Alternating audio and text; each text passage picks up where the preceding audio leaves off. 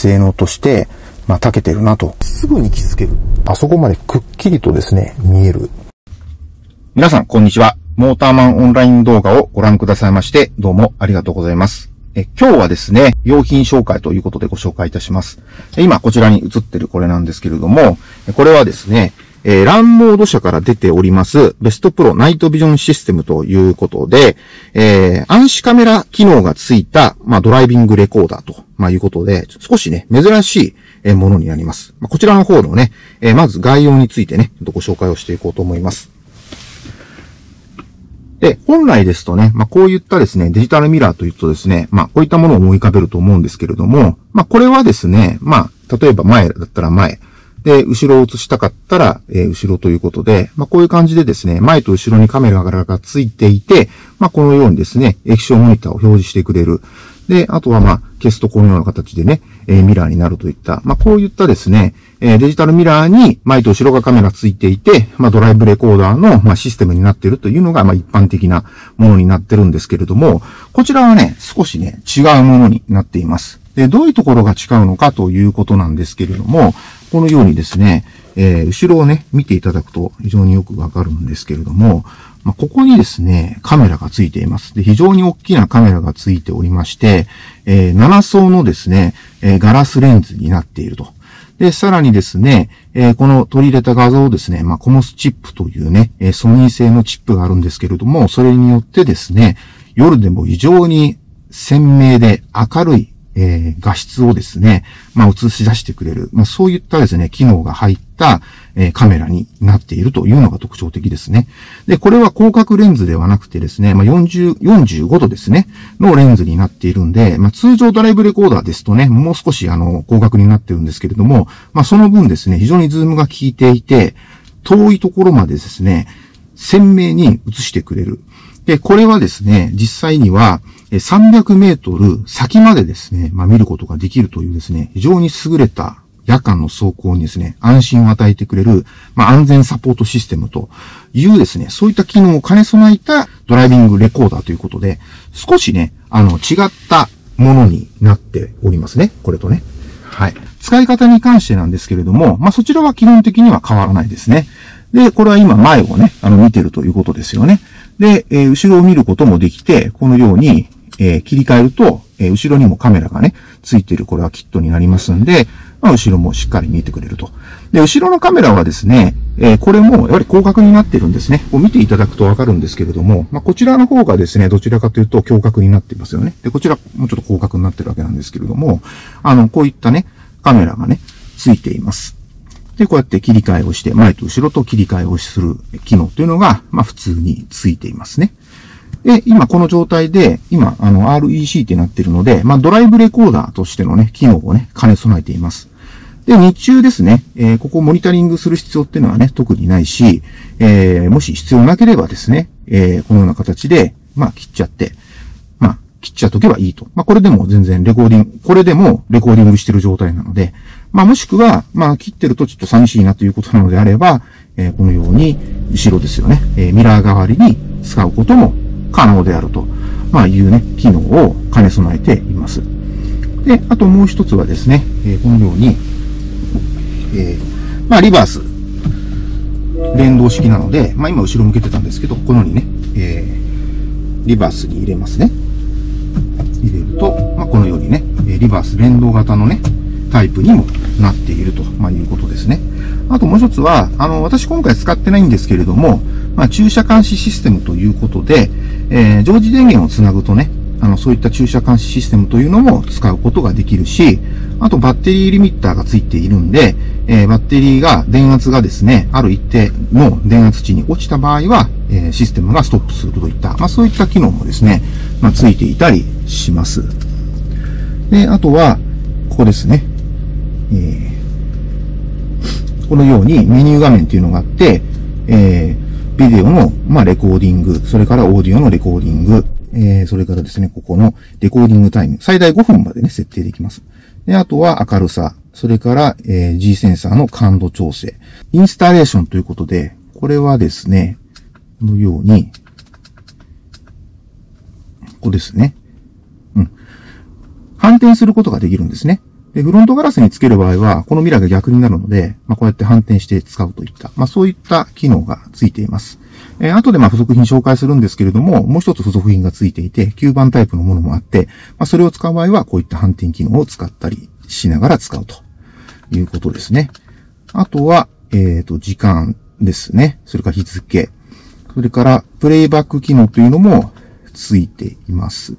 で、これは、まあ、録音したですね、えっ、ー、と、ファイルを、まあ、この場で見ることもできるんですよね。まあ、今、 Loading、Please wait ってなってますけれども、まあ、このようにですね、えー、ファイルがあります。で、えー、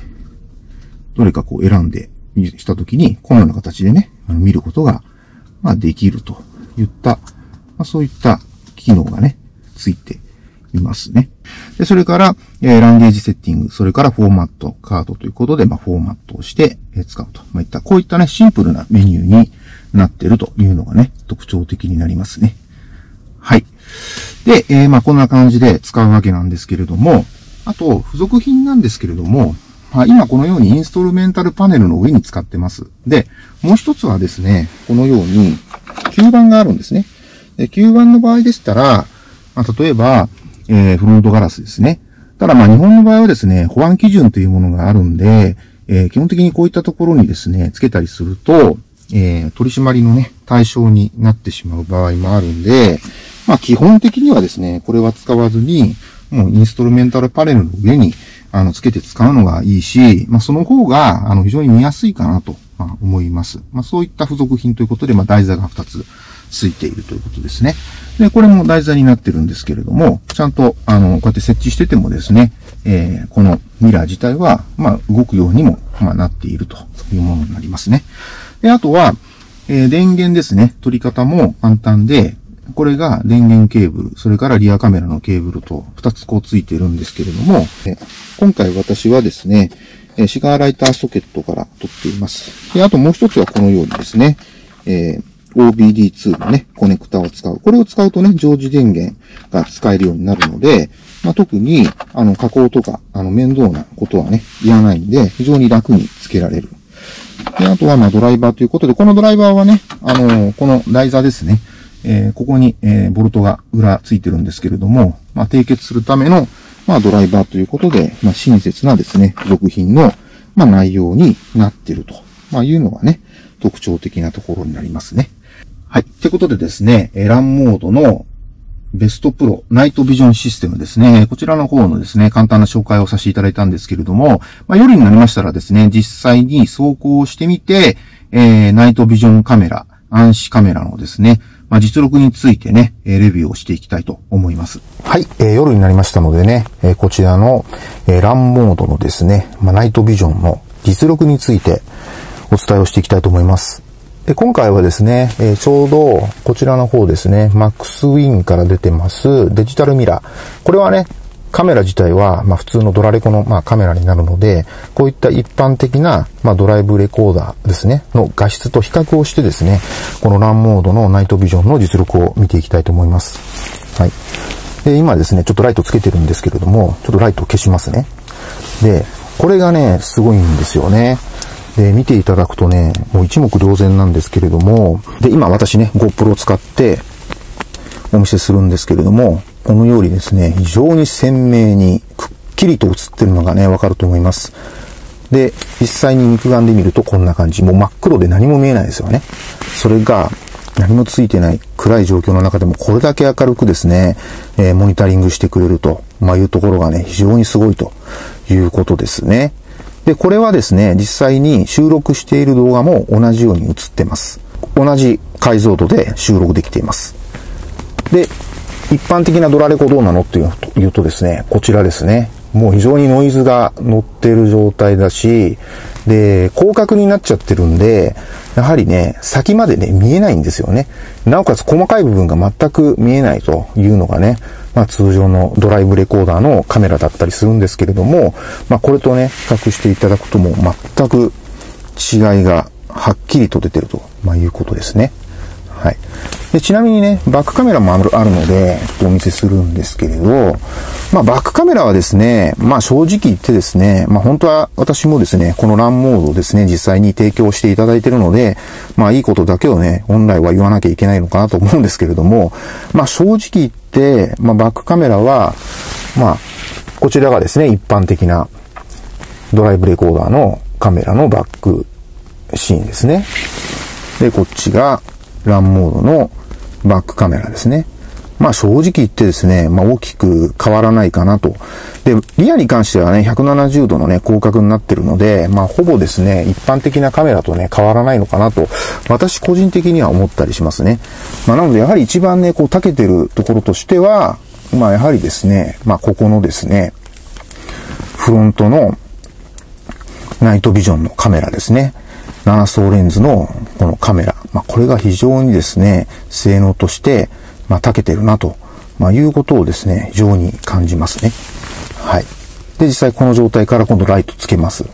で、どうなるかというと、うん。よりですね、くっきり鮮明にもう映ってくれる。昼間と本当に視界変わらないですよ、これ。本当にすごいですよね。もうこれだけでもう十分安全がね、確保できる。もうそういったね、カメラになってます。で、実際のドラレコはこんな感じですね。うん、こんな感じです。まあ、ノイズがね、ちょっと乗ってたりとか、やっぱり広角になっているのでね、やっぱり細かいところとかね、先がちょっと見にくいといった、そういったね、あの、ネガティブなポイントっていうのがやはりね、ありますよね。はい。ということでですね、実際にですね、今度はね、一般道を出てみて、ナイトビジョンのね、実力について検証していきたいと思います。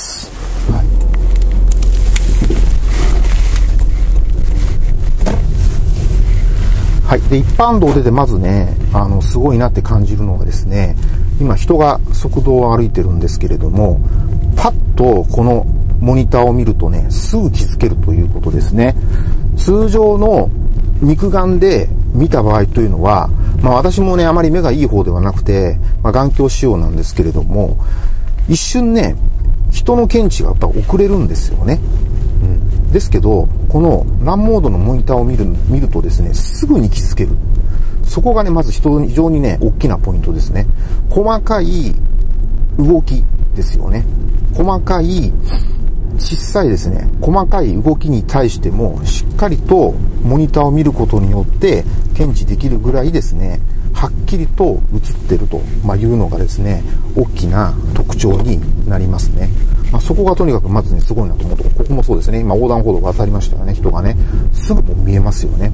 ぱそれがなかなかですね、見えにくい。なおかつやっぱ対向車がいるとですね、どうしてもこう光がこう光って見えるので、その状態から前を見ようとするときって、どうしてもこう眩しい状態で見ようとするから見えないんですよね。明るくて。うん。ですけども、このランモードのナイトビジョンシステムというのはもうそういったことも一切気にならないですよね。で、あともう一つは、このように、まあ、ドライブ、ドライブレコーダーとしてのその機能もね、果たさなきゃいけないというところもあるので、まあ、そこもですね、くっきりと、まあ、ナンバーも見えているということですね。で、あと、気になるところとしては、後ろですよね。うん。後ろもですね、バックカメラも、うん。さっきあの駐車場はね、本当にあの、暗すぎて、あの、よくわからなかったんですけれども、公道で使ってみる限りではですね、特に一般的なドラレコとそんなに変わらないかなと思いますね。このマックスウィンのですね、あのドライブレコーダー、リアカメラもですね、フロントよりもリアの方がね、鮮明に映るなっていうのが私の印象なんですけれども、このランモードのですね、えー、ナイトビジョンシステムはですね、まあ、リアに関しては、まあ、お世辞抜きにしてもですね、えー、このマックスウィンの、えー、リアカメラと、まあ、ほぼ同じぐらいのですね、感じですね。だから一般的なドライブレコーダーと、まあ、同じような、あの、機能だなと、性能だと思っていいのかなと思いますね、正直言って。はい、ただ、この一般的なこのドライブレコーダーといっても、一応暗視機能ついてるんですよ。200メートルまで見える暗視機能っていうのがなんかついてるみたいなんですけれども、まあその暗視機能カメラ付きの一般的なドライブレコーダーのカメラと比較をしてもですね、同等であると、まいうことなので、このランモードのですね、リアカメラに関しても、まあ、フロントほどではないですけどね、リアカメラもそれなりに暗いところも、まあ、見えますよと、まあいうことですね。で、今ですね、ちょうど交差点なんで、ここでもね、ちょっとライト消しますね。で、こうやってライトを消してもですね、もう、本当にあの先まで、ちょうどね、信号、二つ目の信号、今黄色になりましたよね。あそこまでくっきりとですね、見えるっていうところが、やはりね、非常に素晴らしいところですよね。被写体がですね、小さくてもですね、しっかりとこう、動きをね、見ることができるっていうことですよね。まあ、そこが非常にこのランモードのナイトビジョンシステムの、ま、価値があるところかなと思います。はい。で、こちらのですね、ランモードのナイトビジョンシステムなんですけれども、新しくなったこのタイプのものに関しては、えー、まだですね、一般販売はしていません。で、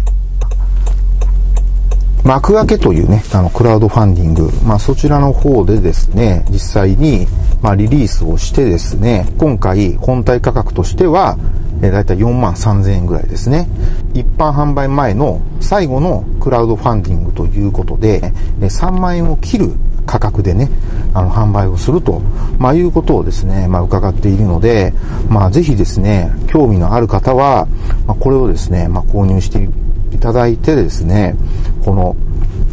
暗視機能の凄さというのをですね、ぜひですね、実感していただきたいなと、まあ、いうふうにね、思います。実際私このランモードのナイトビジョンシステムをですね、このステップワゴンにつけてお話をさせていただいてるんですけれども、まあ実際私もう一台車持っていて、もう年式的にはまあ今からですね、まあ25年ぐらい前の車になるので、まだね、ディスチャージがね、つくとかつかないとか、そういった時代なんですよね。なので非常にね、ライトがね、暗いんですよね。で、なおかつ、やはりスポーツタイプの車ということもあって、まあ、走りに行くことにですね、まあ、趣を置いた、まあ、そういった車になってるんで、まあ、夜ですね、少し、まあ、山ですよね、峠を走りに行ったりとか、やはり趣味の思考のね、走りの車なので、少しこう、速度が上がったりとか、まあ、そういったことも、まあ、一時的にね、やむを得なくあったりすると思うんですけれども、まあ、そういった車にですね、あの、つけて、見るのがいいのかなって、私個人的にはね、思いますね。やはり、安全の確保ができるということは非常に大きなポイントになると思いますし、えー、ハイビームもですね、結局、えー、80メートル先ですよね、しか映せない。で、なおかつ、このナイトビジョンですと、300メートル先まで映すことができる。で、60キロですね。で、走っていると、実際にその被写体ですよね、えー、発見できるまでにどのぐらいの時間の差が要するのかというと、8.4秒時間の差というものがね、あるわけなんですよね。で、この8.4秒というのは非常に、あの、大きいことだなと思いますよね。実際車というのはね、認知、判断、操作というね、この3段階のステップに分かれて、えー、動かされるわけなので、やはりこう認知して判断するまでの時間ですよね。まあ、そこが非常に早ければ早いほど、安全というものがですね、やはり確保されてくるわけなので、これだけ明るくですね、映してくれるということは、非常に車としてもですね、あの夜の走行としても楽に走れるし、なおかつ安全も確保できるし、非常にこう快適にですね、あの、車がね、走れるということを考えると、より一層ね、車の走りが楽しくなる、えー、カー用品なのではないかなと、まあ、いうことをですね、え、今回私自身ですね、改めて、まあ、感じた次第です。